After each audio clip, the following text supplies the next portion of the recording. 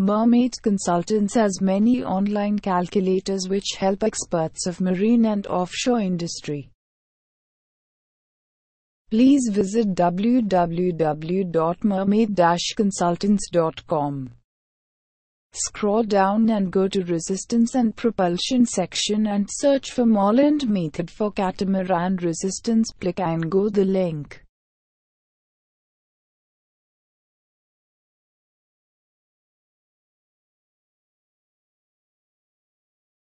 Molland method is suitable for resistance prediction of round bilge catamaran. Now starts changing values in white box to get the results.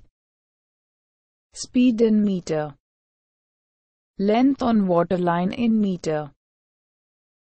Breadth of monohull in meter. Draft in meter. Block coefficient. Spacing between hulls in meters. Transverse area above waterline in meter square. Make sure below limits are within specified range. All the results are shown here. Results can be printed or sent for verification by selecting these links. Thank you for watching this video.